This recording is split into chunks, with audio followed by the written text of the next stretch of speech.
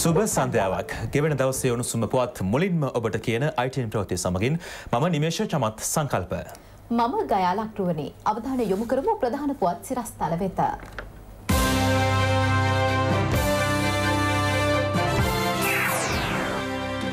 අධ්‍යාපනයේදී දරුවන්ට අසාධාරණයක් වීමට ඉඩ නොතබන බවට ජනපතිගෙන් සහතිකයක්. නිවයෝක් ටයිම්ස් මාධ්‍යවේදීන්ට තර්ජනය කිරීම රටට අපකීර්තියක් අගමැති පවසයි. මාධ්‍ය විශිෂ්ටයන්ට දෙන්න සම්මාන ගොන්න.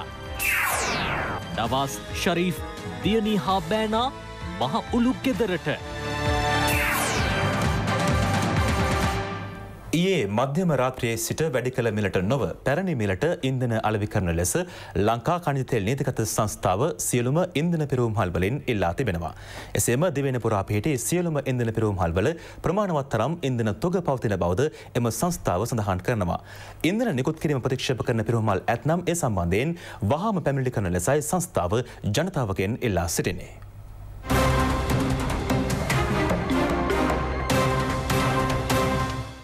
ගැටලුවක් ඇති නොවන පරිදි ඉන්දන බෙදා හැරීමට ලංකා කනිජතෙල් නීතිගත සංස්ථාව කටයුතු කර තිබෙනවා. පාරිභෝගිකයින්ට ඉන්දන නිකුත් කිරීම සඳහා සියලුම ඉන්දන පිරවුම්හල් සේවකයින් දැනුවත් කළ බවද සංස්ථාව පවසනවා. කිසියම් පිරවුම් හලක් ඉන්දන ලබාදීම ප්‍රතික්ෂේප කරන්නේ නම් ඒ පිළිබඳ බිඳුව එකයි එකයි පහයි හාරසිය පනස් පහයි එකසිය තිහ දුරකතන අංකයට වහාම පැමිණිලි කළ හැකි. එම අංකය පෑ විසිහතර පුරා ක්‍රියාත්මක බවද කනිජ තෙල් නීතිගත සංස්ථාව සඳහන් කරනවා. ඉන්දන මිල සංශෝධනය පිළිබඳ ITN ප්‍රවෘති අංශයට කරුණු පැහැදිලි කළ රජයේ ප්‍රවෘති අධ්‍යක්ෂ ජෙනරාල් සුදර්ශන ගුණවර්ධන මහතා. කැබිනට් මණ්ඩලය විසින් තීරණය කළ පරිදි ලෝක වෙළඳ පොලේ ඉන්ධන මිල ඉහළ පහළ යෑම මත පදනම් වෙන ආකාරයට මිල සූත්‍රයක් සකස් කරලා තෙල් මිල මාස දෙකකට වරක් සංශෝධනය කිරීමට තීරණයක් ගත්තා. ඒ අනුව මාසයේ යක් හැර මාසයක් පස්වෙනිදා ඒ තෙල් මිල සංශෝධනයට නියමිතව තිබුණා. ඒ අනුව තමයි ඒ සංශෝධිත මිල ඉදිරිපත් කරනු ලැබුවේ. එසේ වුවත් ලංකා IOC සමාගම ඒ අනුව මිල සංශෝධනය කර තිබෙන බව අපට දැනගන්න ලැබුණා. නමුත් ලංකා සංචල විස්ක සංස්ථාව කල්පනා කළා ඔවුන් මේ සංශෝධනය නොකර පැරණි මිලටම ඉන්ධන ලබා දෙන බව. හනස සංස්ථාව කියා සිටිනවා කිසිදු ඉන්ධන ඉඟයක් නැහැ. නිසා ඉන්ධන සැපයීම විධිමත්ව සිදු වෙන බව. මේ ලෝක වෙළඳ පොලේ තිබෙන ඉන්ධන මිල අනුව ඉන්ධන වෙනස් කරන්න මිල ඉහළ පහළ යෑම පාරිභෝගිකයන්ට වාසියක් වෙනවා මක්නිසාද මිල පහළ යන අවස්ථාවලදී ඒ වාසිය පාරිභෝගිකයාට ලැබෙන නිසා. අද පැවති මාධ්‍ය හමු කිහිපකදීම මේ පිළිබඳ අදහස් පළ වුණා.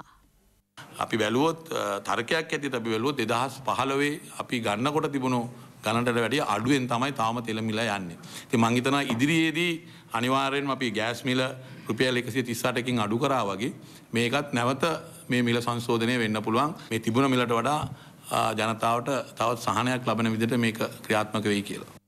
ලෝකයේ මිලත් එක්ක වෙනස් වීම මත ලංකාවේ පරිපාලන ක්‍රමවේදය තුල හදපු ඉතාමත් නිර්මාණශීලී හොඳ මිල සූත්‍රයක් තියෙන්නේ. මේක අඩු වෙනකොට ඒ වාසියත් අපිට ලැබෙන මිල සූත්‍රයක් අනාගතයේ අර දේශපාලන තීරණ විදිහට මේ මිල සූත්‍රය අනුව තමයි කනිජ තෙල් මිල ඉහළ පහළ යන්නේ.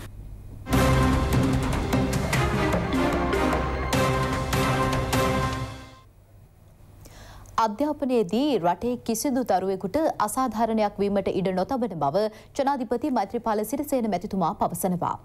ජනාධිපතිතුමා මෙම අදහස් පළ කළේ සයිටම් ආයතනයේ සිසුන් සහ දෙමාපියන් සමග අද පැවති හමුවකදී. සයිටම් ආයතනයේ සිසුන් සහ දෙමවපියන් සමග හමුවක් ජනාධිපති මෛත්‍රීපාල සිරිසේන මැතිතුමාගේ ප්‍රධානත්වයෙන් අද පෙරවරුවේ පැවැත්වුණේ නිලුම්පකුණ රඟහලේදී. ඊට අමාත්‍ය විජිතාසෝ රාජපක්ෂ ආරක්ෂක ලේකම් කපිල වෛද්‍යරත්න විශ්වවිද්‍යාල ප්‍රතිපාදන කොමිෂන් සභාවේ සභාපති මහාචාර්ය මොහන්ද සිල්වා කොතලාවල ආරක්ෂක විශ්වවිද්‍යාලයේ උපකුලපති රිය අද්මිරාල් ජෙජි රණසිංහ යන මහතුරුන් ඇතුළු විද්වතුන් පිරිසක් එක්ව සිටියා. එහිදී ජනාධිපතිතුමා පැවසුවේ සයිටම් පෞද්ගලික අධ්‍යාපන ආයතන පිළිබඳ උද්ගත වූ ගැටලුව විසඳීමට එවන් ගැටලුවකදී වසරේදී මේ රටේ කිසිදු රාජ්‍ය නායකයෙකු සිදු නොකළ මැදිහත්වීමක් සහ කැපවීමක් තමන් සිදු කළේ අධ්‍යාපනයේදී රටේ කිසිදු දරුවෙකුට අසාධාරණයක් වීමට ඉඩ නොතැබීමට බවයි.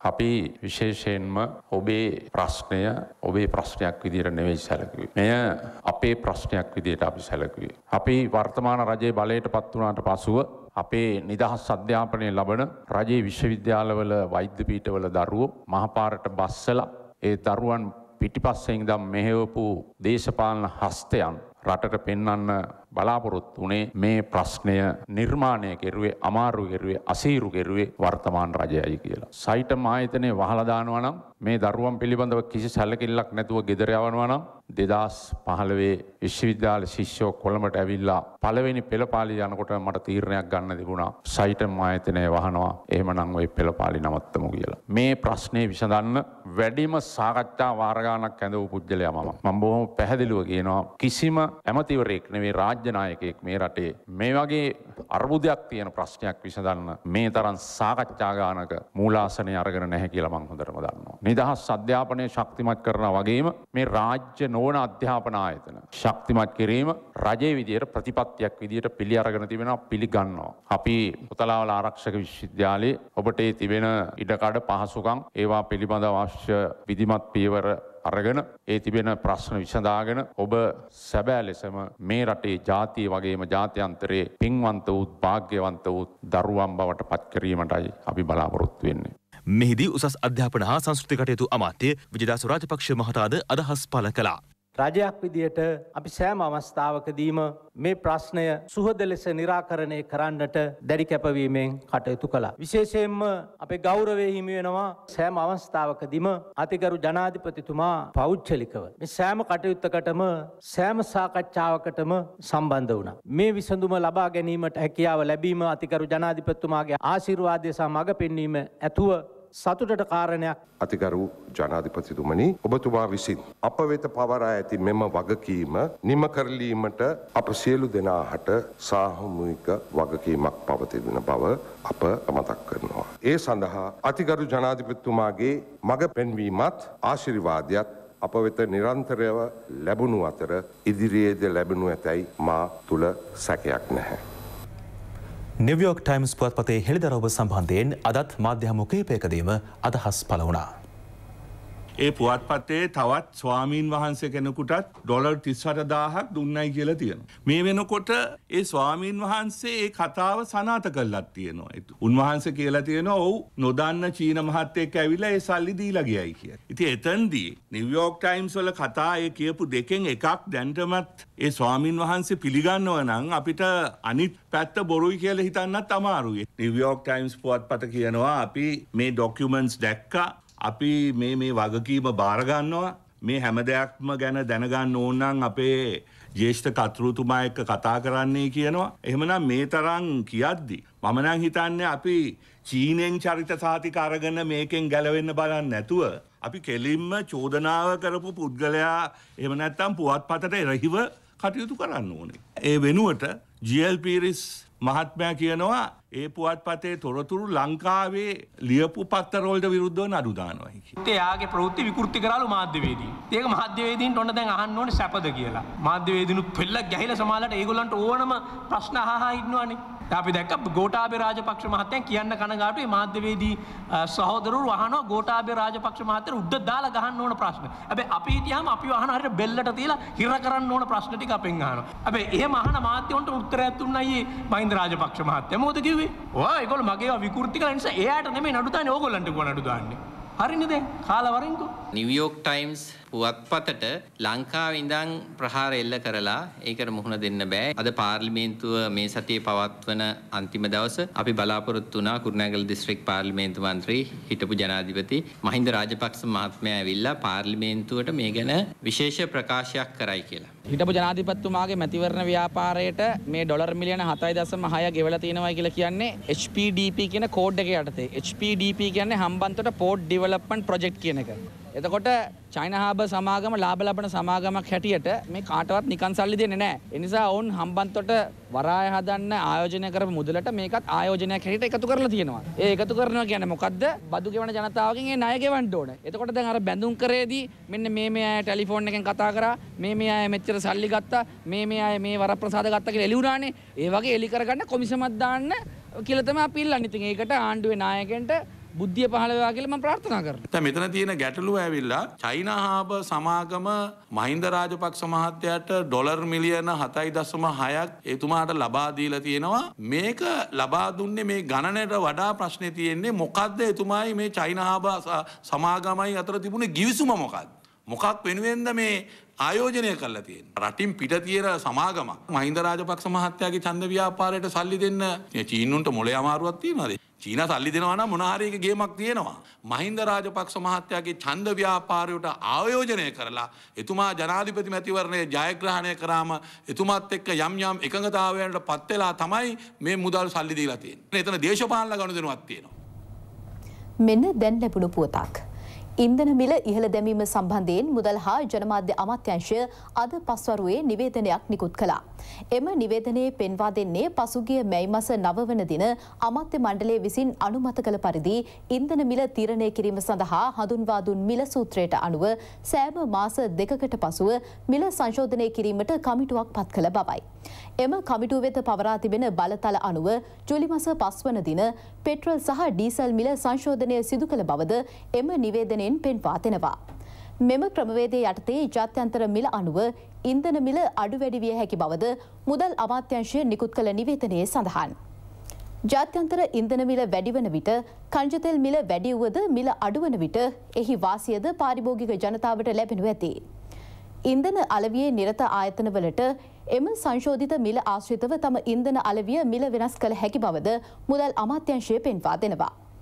කංජතෙල් සංස්ථාවේ ඉන්ධන අලවි මිල සම්බන්ධයෙන් මීළඟ අමාත්‍ය මණ්ඩල් රැස්වීමේදී තීරණයක් ගනු ඇතැයිද මුදල් අමාත්‍යංශය නිකුත් කළ නිවේදනයේ වැඩිදුරටත් සඳහන්. නව ජනාධිපති ලේකම්වරයා ලෙස හිටපු ජේෂ්ඨ පරිපාලන නිලධාරියෙකු වන උදය ආර් සෙනවිරත්න මහතා පත්කර තිබෙනවා. ඒ මහතා සිය පත්වීම් ලිපිය ජනාධිපතිතුමා අතින් අද පෙරවරුවේ ලබා ගත්තේ ජනාධිපති කාර්යාලයේදී. විද්‍යා තාක්ෂණ හා පර්යේෂණ අමාත්‍යංශයේ ලේකම්වරයා වශයෙන් කටයුතු කළ උදය ආර් සෙනවිරත්න මහතා මීට මාස කිහිපයකට පෙර එම දුරෙන් විශ්‍රාම ගත්තා.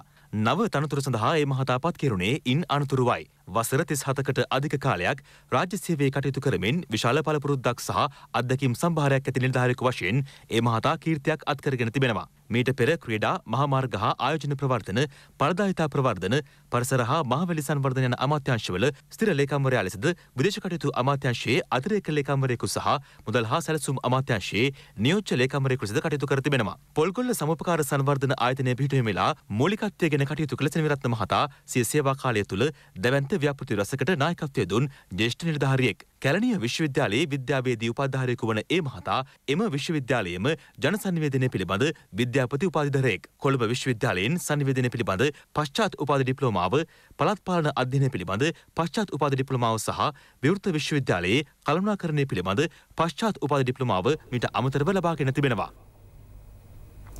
වාරණය යනු අදට වලංගු වචනයක් නොව ඒ වෙනුවට කළ යුත්තේ සැබෑ මාධ්‍යවේදීන් දිරිමත් කිරීම බව අමාත්‍ය මංගල සමරවීර මහතා පවසනවා. මාධ්‍යවේදීන්ගේ කාර්ය ප්‍රශස්ත මට්ටමට පත්කිරීම සඳහා සංවිධාන කෙරෙන ජනාධිපති මාධ්‍ය සම්මාන උළෙල පිළිබඳ දැනුවත් කිරීමේ මාධ්‍ය හමුවේදී අමාත්‍යවරයා මේ බව කියා සිටියා. රූපවාහිනී ගුවන් විදුලි මුද්‍රිත මාධ්‍යමෙන්ම වෙබ් අඩවි යන ශ්‍රේෂ්ත්‍රෝස්සේ සම්මානුරුල පැවැත්වීමටයි සැලසුම් කර ඇත්තේ. සිංහල දෙමළ සහ ඉංග්‍රීසි යන භාෂා තුනෙන්ම තරඟ පවත්වා සම්මාන පනස් හතරක් පිරිනැමීමට නීමිතයි. සම්මානුරුල පිළිබඳ තොරතුරු ඇතුළත් www.pma.gov.lk වෙබ් අඩවිය විවෘත කිරීම අමාත්‍ය මංගල සමරවීර මහතාගේ ප්‍රධානත්වයෙන් සිදු කෙරුණා. රාජ්‍ය අමාත්‍ය ඉරාන් වික්‍රමරත්න නියෝජ්‍ය අමාත්‍ය ලසන්ත අලගිය වන්න මුදල් හා ජනමාධ්‍ය අමාත්‍යංශුවේ ලේකම් ආචාර්ය RHS සමරතුංග යන මහත්වරුන්ද මෙම අවස්ථාවට එක්ව සිටියා. මෙම වෙබ් අඩවියට පිවිස ඔන්ලයින් ක්‍රමයට අයිදුම්පත් සම්පූර්ණ කළ හැකි. සම්මානුරල දෙසැම්බර දහ නම වනදා බණ්ඩාරනායක අනුස්මරණ සම්මන්ත්‍රණ ශාලාවේදී පැවැත්වෙනු ඇති. විශිෂ්ට මාධ්‍ය සංස්කෘතියක් රට තුළ ඇතිකිරීම සඳහා මාධ්‍ය සිදු කරන මෙහෙවර අගය කරමිනුයි මෙම සම්මානුරල පැවැත්වීමට නියමිත පැත්තේ. එමෙන්ම මාධ්‍ය සම්මාන උළෙල වාර්ෂිකව පැවැත්වීමට මුදල් හා ජනමාධ්‍ය අමාත්‍යංශය තීරණය කර තිබෙනවා. ජනමාධ්‍ය කලාව නිවැරදිව කරන අයවා අපි අගය කරන්න. වැරදි කරන අය විකෘති කරන අය ජනමාධ්‍ය කලාව තමන්ගේ වාසියට කරන අය ගැන කතා කර කර ඉන්නේ නැතුව ජනමාධ්‍ය කලාවේ ගරුත්වය තියාගෙන ලියන අය කරන අය. අපි අගය කරොත් ඇත්ත වශයෙන්ම මම නම් හිතන්නේ ඊළඟ පරම්පරාව වෙනකොට යලි වතාවක් සම්භාවනීය ගෞරවනීය ජනමාධ්‍ය කලාවට ජනෝත්තාව තුලින් ඉඩක් ලැබෙනවා. අන්න එහි මුල් පියවරක් හැටියට තමයි මේ ජනාධිපති සම්මාන උළෙල ඇති කරන්නට තීන්දුව කරන්නේ. අපි දන්නවා මාධ්‍ය ශේෂ්ත්‍රයනු රටේ සංවර්ධනයට දියුණුවට විශාල දායකත්වයක් ලබා දෙනවා. රට යම් භාවික විපතකට පත් වුනහම අභියෝගයකට මුහුණ පාපුවාම අපි දන්නවා තමන්ගේ වාණිජ පරමාර්ථ පසක තබලා ඒ අරමුණ වෙනුවෙන් මාධ්‍ය ආයතන විශාල දායකත්වයක් ලබා දීපු අවස්ථාවන් බොහෝමයක් අපේ රටේ තිබෙනවා. එම ජාතික යුතුකම ලබා දී යුතුයි අත්ත වශයෙන්. මාධ්‍ය ශේෂ්ත්‍රයේම යම් ගුණාත්මක දියුණුවක් ඇති කර ගැනීම සඳහා මේ ජනාධිපති සම්මානවලට එක වැඩසටහනක්. නොබෙදූ ශ්‍රී ලංකාවක් තුළ සියලු ජනකොටස් වලට සර්ව සාධාරණයට කිරීමට යහපාලන රජය සූදානම් බව අමාත්‍ය සජිත් ප්‍රේමදාස මහතා පවසනවා. සැමට සෙවන යළිපිබිදෙන උදා ගම්මාන වැඩසටහන යටතේ අනුවන ආදර්ශ ගම්මානය විවෘත කිරීමේ අවස්ථාවට එක්වමින් අමාත්‍යවරයා මේ බව ප්‍රකාශ කළා. මුලතිව් දිස්ත්‍රික්කයේ තුනුක්කායි ප්‍රදේශයේ ඉදි කළ නන්දකුමාර් නගර උදා ගම්මානය ජනතා අයිතියට පත්කිරීම අද සිදු වුණා. නිවාස තිහකින් සමන්විත මෙම ගම්මානය ඉදිකිරීම සඳහා වැය කළ මුළුමුදල රුපියල් ලක්ෂ පන්සේ විසි හතරා. පානීය ජලය විදුලිය ප්‍රවේශ මාර්ග හා විධිමත් අභ්‍යන්තර මාර්ග ඇතුළු සියලු යටිතල පහසුකම් වලින් මෙය සමන්විත වනවා. නිවාස හිමිකම් පත්‍ර ප්‍රදානය අඩු හදම්ලාබී පවුල් සඳහා විසිරි ණය ප්‍රදානය ශිල්ප සවිය වැඩසටහන යටතේ වෘත්තීය උපකරණ කට්ටල ප්‍රදානය සහ සංරැකියා ණය ප්‍රදානයද මෙහිදී සිදු කෙරුණා. නියෝජ්‍ය අමාත්‍ය කාදර් මස්තාන් මහතා සහ පාර්ලිමේන්තු මන්ත්‍රිණී ශාන්ති ශ්‍රී කන්දරාජා මහත්මියද මෙම අවස්ථාවට එක් වුණා. කවුරු හරි උත්සාහ දරනවන මේ රට තුළ බෙදුම්වාදය ක්‍රියාත්මක කරන්න. අපි අපේ ක්‍රියාදාමයන් තුළින් අපේ සංවර්ධනය තුළින් සවිබල ගැන්වීම තුළින් අපේ රාජ්‍ය ශක්තිය තුළින් අපි ඒ අයව දිනාගන්නට ඕන. ඔබලාට යම් කිසි අසාධාරණයක් සිදුවෙනවන. සමාජ අසාධාරණයක් සිදුවෙනවන. දේශපාලන අසාධාරණයක් සිදුවෙනවන. යහපාලන රජය ලෑස්ති කොන්ද කෙලින් තියාගෙන ස්වෛරී ශ්‍රී ලංකාවක් තුළ සියලුම ජනකොට්ටාසන් වලට සර්ව සාධහරණත්ව ඉෂ්ට කරන්නට අපේ යහපාලන රජය ලෑස්ති කියන එක මම මේ අවස්ථාවේ ප්‍රකාශ කරනවා. නිව්යෝක් ටයිම්ස් පුවත්පතේ මාධ්‍යවේදීන්ට තර්ජනය කිරීම සමස්ත රට ජාත්‍යන්තරය හමුවේ අපකීර්තියට පත්කිරීමක් බව අග්‍රාමාත්‍ය රනිල් වික්‍රමසිංහ මහතා පවසනවා. පාර්ලිමේන්තු මන්ත්‍රී දිනේශ් ගුණවර්ධන මහතා ඇසූ ප්‍රශ්නයකට පිළිතුරු දෙමින් අග්‍රාමාත්‍යවරයා අද පාර්ලිමේන්තුවේදී මේ බව කියා සිටියා. රහස් පොලිසියාග මැතිතුමනි අද ජනමාධ්‍ය සෑම දුරකතන යක්ම යළිතොරක් ටේප් කරන භයානක තත්ත්වයක් ඇති කරද වෙන නිසා. මේ රජය මාධ්‍ය නිදහස් ඇති කරා එක ආරක්ෂා කරන. මෙතන තියෙන්නේ එක පුවතක් ගැන පොලිසිය ගත්ත ක්‍රියාමාර්ග පොලිස් පැමිණිල්ලක් නිසා නැත්තම් පොලිසියට උමනාවෙලා නෑ අපි මාධ්‍යවේදීන්ට තර්ජනය කරනට විරුද්ධයි. දැන් ළඟදී මේ ලංකාවයට තර්ජනය කරන මරණව විතරක් නෙමෙයි නිව්යෝක් ටයිම්ස් ආයතනයේ නිව්යෝක් ටයිම්ස් එකේ කතරුටත් අනික් අයටත් තර්ජනය කරලා තියෙනවා. දැන් නිව්යෝක් ටයිම්ස් එකේ පත්තරේ දාලා තියෙනවා ප්‍රසිද්ධියේම අපිට තර්ජනය කරා අපි දැන් අපි මොකද්ද මේ නිව්යෝක් ටයිම්ස් එක ගැන කරන්නේ? එතුමා මෙතෙන්ට ඇවිල්ලා පාර්ලිමේන්තුවේ ප්‍රකාශයක් කරන ප්‍රශ්න ඉවරයි. මේ අතර අද දිනේත් හිටපු රාජ්‍ය අමාත්‍ය විජයකලා මහේශ්වරන් මහත්මිය පිළිබඳ පාර්ලිමේන්තුවේදී අදහස් පළ වුණා. දැන් විජය කලා ඇමතුමිය ඊයේ ප්‍රකාශයක් කළ තිබුණා ආණ්ඩු ක්‍රම ව්‍යවස්ථාව උල්ලංඝනය කරපු බව එතුමිය ඒ ප්‍රකාශයෙන් පිළිගෙන තියෙනවා. එතුමියට තවදුරටත් මන්ත්‍රී ධූරේ රැඳෙන්න අයිතිවාසිකමක් තියෙනවද? මට ඒකාධිපතියෙක් වශයෙන් ක්‍රියා කරන්න බෑ. මට නීත්‍යානුකූලව කටයුතු කරන්න ඕන. ඒ අනුව තමයි අදාළ නීත්‍යාන්ත විමරලා නීතිපතිතුමාටත් ඒක දැන් ඇරලා තියෙනවා. නීතිපතිතුමා ඒ සම්බන්ධයෙන් පරීක්ෂණයක් පවත්වාගෙන යනවා. සෑම දෙයක් මම කරන්නේ පක්ෂ නායකන්ගේ අනුමැතිය ඇතුව ඒ වාර්තාව අද ලැබෙයිද ලබන සතිය ලැබෙයිද කියලා මට කියන්න බෑ. ඒක ලැබිච්ච හැටි වාම අපි පාර්ලිමේන්තුවට කතා කරලා අවශ්‍ය පියවර ගන්නවා. පළත් සභා ඡන්ද විමසීම් සහ මැතිවරණ ක්‍රමය පිළිබඳ කල්තැබීමේ විවාදයක් පාර්ලිමේන්තුවේදී පැවැත්වුණා. මැති ඇමතිවරුන් කිහිප දෙනෙකු එහිදී අදහස් දැක්වූවා. Provincial council election must be held. They are important. They, they cannot be delayed. පළාත් සභා ඡන්ද විමසීම පැවැත්වීම ඉතා වැදගත්. ඒක කල් දමන්න බෑ. ඒ වුණත් හැම දෙයකින්ම සිද්ධ වෙන්න ඕනේ ජනතාවට බලය හිමිවීම. අපේ අදහස නව ව්‍යවස්ථාවක් ගෙනල්ලා සියලු ප්‍රජාතන්ත්‍රවාදී අයිතීන් ජනතාවට ලබා දෙන්න ඕන කියන එකයි. ඊට ඡන්ද ක්‍රමයක් ඇතුළත් කරන්න පුළුවන්. එතකොටයි සැබෑ ප්‍රජාතන්ත්‍රවාදය නිර්මාණය වෙන්නේ. Must be brought to parliament. Our experience with the local government elections that were held in February 2018 අලුත් පළත් පාලන චන්ද්‍රක්‍රමය අත්දැකීම් අපට තිබෙනවා. ඒක තිබේ සියට හැටත් හතලිහත් අනුපාතයට. ඒ තුළින් ස්ථාවර පාලනයක් ඇතිවුණේ නැහැ. සියට පණහ පණහ අනුපාතය ආවොත් කොයි තරම් අස්ථාවර වේද. එනිසා අපේ යෝජනාව සියට හැත්තෑවත් තිහත් අනුපාතයට පළාත් සභා චන්ද්‍රක්‍රමය වෙනස් විය යුතුයි කියලා. අලුත් මැතිවරණ ක්‍රමයේ තියෙන අඩුපාඩු හදාගන්ට කරන මේ උත්සාහය පැත්තක තියලා අපි පරණ ක්‍රමයට යා යුතුයි කියන එක මම් තරයෙන්ම අවධාරණය කරනවා. ඒ තුළින් තමයි යම් සාධාරණයක් කාටත් ඉතුවිය හැකි. පැරණි චන්ද ක්‍රමය යටතේම යම් පක්ෂයකට මන්ත්‍රදුර සංඛ්‍යාවක් ලැබුණනම් එම මන්තිවරු සංඛ්‍යාවේ එලෙසම මෙම චන්ද ක්‍රමයට තිත් ලැබෙනවා. එනිසාම චන්ද ක්‍රමය විසින් කිසි සේත්ම පලාත් සභාවක් අස්ථාවර බවට පත්වෙන්නේ නෑ එහෙම අස්ථාවර බවට පත්වෙනවනම් කලිනුත් අස්ථාවර බවට පත්වෙන්න ඕන. තුනෙන් දෙකේ චන්දයක් දීලා මේ ක්‍රමය වර්ණා කරලා දැන් කියනවා මේ ක්‍රමය හොඳ නෑ කියලා. මේ පලාත් සභා ඡන්දේ පරක් වෙනවා කියලා දූෂිත මනාප ක්‍රමයකට අනේක සදාචාරාත්මක නෑ. මෙතන සද්භාවයෙන් මෙහෙ ඉන්න මන්ත්‍රීවරු දෙසිය විසි පහම ක්‍රියා කලානම් මේ අඩුපාඩු හදලා වෙනසක් ඇති කරන්න අපට මේ වෙනස ලබාගන්න පුළුවන්. කරුණා කළ චන්දේ තියන්න. අර නොකරන්න විදියට නොකරන්න වැඩ කරන්න ඔන්නන් කරන්න පුළුවන් ඒක අපි අත්දැකීම් දැක්ක. නොයකුත් අඩුපාඩු තියෙනවා. නොයකුත් චෝදනාවල් තියෙනවා. අපි සියලු දෙනාම එකතු වෙලා ඒවා සාකච්ඡා කරලා ඒ අඩුපාඩු හදාගෙන අපි ඉදිරියට අයා යුතුයි. ප්‍රජාතන්ත්‍රවාදය තුළ සෑම ජනකොටසකමටම තමන්ගේ නියෝජනය කියන එක විතාම වැදගත්තේක. ඒක නිකම් මේ ජාතිවාදය කියලා ලේබල් ගාලායින් කරන්න බෑ. ඒ අලු ඡන්ද ක්‍රමයක් අවශ්‍යයි කියන එක ගැන අපිට විවාදයක් නෑ. නමුත් ඒ ගමන යන ගමනේදී අපිට අනිකුත් ඒ ජනකොටස්වල නියෝජිතයන් එවගේම අනිකුත් මතදරන සුළු පක්ෂවල නියෝජිතයන් ඒ සියලු දෙනාටම සාධාරණ වෙන විදිහට ඒ ඡන්ද ක්‍රමය අපි හැදිය යුතුයි. අද මේ සභාවට අපි කියන්නේ ජනතා පරමාධිපත්තර පයින් ගහමින් මේ මැතිවරණය කල් දැමීමේ ආණ්ඩුවේ උත්සාහ අපි පරාජය කරන්නට ඕන මොන දේශපාලන වර්ණයට ආදරය කරත්.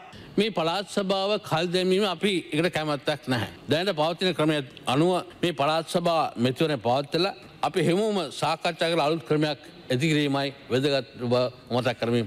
මේ ක්‍රමේ යටතේ මේ පලා සභා හදලා මෙහෙම මන්ත්‍රීවරු තෝරගත්තට පස්සේ ඒකෙන් සියයට පණහක් ඡන්දයෙන් පත්වන මන්ත්‍රීවරු වෙන්නේ නැත්තං ඒගොල්ලො චිට් මන්ත්‍රීවරු නම් පක්ෂවල නාමකරයෙන් නම් මේ අය පත්වෙන්නේ මේ පලා සභා මහජන නියෝජිත සභා කියලා අපිට හඳුන්වන්න පුළුවන්ද. පක්ෂවල මහලේකම්වරු විසින් පත් කරන මේ ක්‍රමය කිසිසේත්ම සුදුසු වන්නේ නෑ. එහෙම කරොත් පක්ෂවල අධිකාරී බලය වැඩ වෙනවා මහජනයාතාවගේ බලය අඩු වෙනවා. ඒ පක්ෂවලට නායකයන්ට ගැතිකම් කරන පුද්ගලයන්ට ජනතාවගේ කැමැත්තකින් තොරව පැමිණීමට හැකි වෙන නිසා ඔබතුමත්තක සීර සීයක් එකගයි අල්ලස්සෝ දූෂණ විමර්ශන කොමිසමේ හැරෝම් ලක්ෂය මේ වසර බව එම කොමිසමේ සභාපති සරත් ජයමාන්න මහතා පවසනවා. ඒ මහතා මෙම අදහස් පළ කළේ අද කොළඹ පැවති හොරු නැති ආණ්ඩුවක් යථාර්ථයක් දැනමයින් පැවති සම්මන්ත්‍රණයකදී. අද පස්සරුවේ පැවති මෙම සම්මන්ත්‍රණයට ජනාධිපති මෛත්‍රීපාල සිරිසේන මැතිතුමාද එක්ව සිටියා. බොහොමමාරුවෙන් අපි ඇති කරගත්තා තන්තුරු දෙසීයක්. කවුරු සඳහාද විශේෂඥ විමර්ශකයන් සඳහා ගණකාධිකාරිවරුන් ගිනුම් පරීක්ෂවරුන් ඔවුන් සඳහා. ගෙමාසේ අටවෙන්දම එක දැන් ගැසට් කළ. මේ රටේ ඔබත ඔබතුමල්ලාට රට බේරගන්න අවශ්‍ය නම්. අපත් එක්කෙන් අත්වල් බැඳගෙන මේ අවුරුද්ධ අල්ලස් කොමිසම් සභා ඉතිහාසේ හැරෝම් ලක්ෂය ඒ විතරක් නෙමෙයි අපි හැමදාම හිතුවේ එක්කෙනෙක් දෙන්නෙක් අල්ලලා හිරකට දැම්මොත් මෙරට අල්ලස් දූෂණය තුරන් වෙයි කියලා. එහෙමම නෑ. අපි මහාර දෙවන්ත වැටලීම කරාට පස්සේ අපි අඩු ගන්න සතියකට කී දෙනෙක් අල්ලනවද? හොරු නැති ආණ්ඩුවක් හදන්න නම් හොරුන්ට බය නැති නායකයෙක් ඉන්න. ඒක තමයි අපි හිතන්නේ. හොරු දැක්කහම හොරු තියාගෙන අවසානයේදී හොරුන්ගේ ෆයිල් මගේ ළඟ තියෙනවා මම බලා ගන්නම් කියලා තර්ජනය නොකරනවා නම් මේ හොරාව මම අතීතයේ දැනගත්තට දැන් මම එයාව දන්නේ නැහැ. ඒ නිසා එයාව මට ගෙන්නන්න බෑ කියනවා නම් ඒකත් නායකත්වයක් නෙවෙයි. හිටපු රාජ්‍ය ඇමතිනී විජය කලා මහේශ්වරන් මහත්මිය යාපනයේදී කළ ආන්දෝලනාත්මක ප්‍රකාශය ඇතුළත් සංස්කරණය නොකළ වීඩියෝ පට සංවිධානාත්මක අපරාධ නිවාරණ කොට්ටාසය වෙත ලබා දෙන ලෙස කොළඹ මහේස්ත්‍රාත් අධිකරණය මාධ්‍ය ආයතන පහකට අද නියෝග කළා. එල්ටීටීය යළි පිහිටුවිය යුතු බවට විජය කලා මහේශ්වරන් මහත්මිය ප්‍රකාශයක් කළ බව කියමින් ඊට එරෙහිව පොලිසියට පැමිණිල්ලක් ලැබී තිබුණා. එම පැමිණිල්ල කරතිබුණේ සිංහල රාවය සංවිධානයේ ජාතික සංවිධායක පූජ්‍ය මාගල්කන්දේ සුදන්ත ස්වාමින් වහන්සේ. එම පැමිණිල්ලට අදාළව සංවිධානාත්මක අපරාධ නිවාරණ කොට්ටාසය කරුණු වාර්තා කළා. ඒ අනුවයි ඇයගේ ප්‍රකාශය ඇතුළත් වීඩියෝ පට ලබා දෙන ලෙස අධිකරණය නියෝග කළේ. දෙදහස් දොළහ වසරේදී චීන සමාගමකින් පුෂ්පා රාජපක්ෂ පදනමට මුදල් ලැබුණු ආකාරය සහ ඒවා වියදම් කළේ කුමකටද යන්න පිළිබඳ රටට හෙළි කරන ලෙස නියෝච්‍ය අමාත්‍ය රංජන් රාමනායක මහතා පවසනවා. චීන රජයට අනුබද්ධිත ආයතනයක් වන චයිනිස් කන්ස්ට්‍රක්ෂන් කම්පනයකින් බැසිල් රාජපක්ෂ මහත්මයාගේ ආදරණීය බිරිඳගේ ගිනුමට මුදල් වගයක් බැර කරලා තියෙනවා එක්කෝටි අනු හතර ලක්ෂයක්. මේ බැංකුව ද Hong Kong and Shanghai banking corporation limited Pushpa Rajapaksa foundation එකට තමයි මේ චෙක්පත නිකුත් කරලා තියෙන්නේ. දිනේ විසේකයි පහයි දෙදස් දොළහා මේ චීන ජාතිකෙක් අස්සං කරලා තියෙන්නේ. මේක ඉතාම සැකසහිත ගනුදෙනුවක් හටියට අපි දකිනවා. ඒ හින්දා මම බොහොම පැහැදිලිව මේකට උත්තරයක් බලාපොරොත්තු වෙනවා වැඩිම ලකුණුගත් නීතිඥතුමා නාමල් රාජපක්ෂ මහත්තයාගෙනුයි ඒ වගේම විරුද්ධ පක්ෂයේ කතිකයන්ගෙනුත් ඒ වගේම මහින්ද රාජපක්ෂ හිටපු ජනාධිපතිතුමාගෙනුත් බලාපොරොත්තු වෙනවා මේ චෙක් එක මාරු කරගත්තද මේ මුදලින් මොනවද කළේ මේ ගෙව්ව සමාගම මේ පදනමට මේක දුන්නේ ඇයි චීනා සමග පුෂ්පා රාජපක්ෂ මැතිනිගේ තියෙන අනියම් සම්බන්ධතාවය කුමක්ද? ඒ කියන්නේ මොකක් හෝ සම්බන්ධයක් තියෙනවා මෙතන. අපි අහනවා බැසිල් මහත්මයාගෙන් චීනා සහ මේ ඔබගේ භාර්යාව අතර මේ ඇති වූ ගනුදෙනුව ගැන වහාම රටට හෙළි කරන්න. මේක අපහාසයක් නෙමේ මහත්තයෝ. ප්‍රවෘත්ති විකාශයෙන් අනතුරුව තත්පර 180 විශේෂාංගයේ සමගින් එක්වන්න. ITN ප්‍රවෘත්ති සවිස්තරාත්මක දැනගැනීමට පිවිසන්න www.itnnews.lk අපගේ වෙබ් අඩවියට. යළිත් හමුවමු රාත්‍රී 10ට. සුබ රාත්‍රියක්.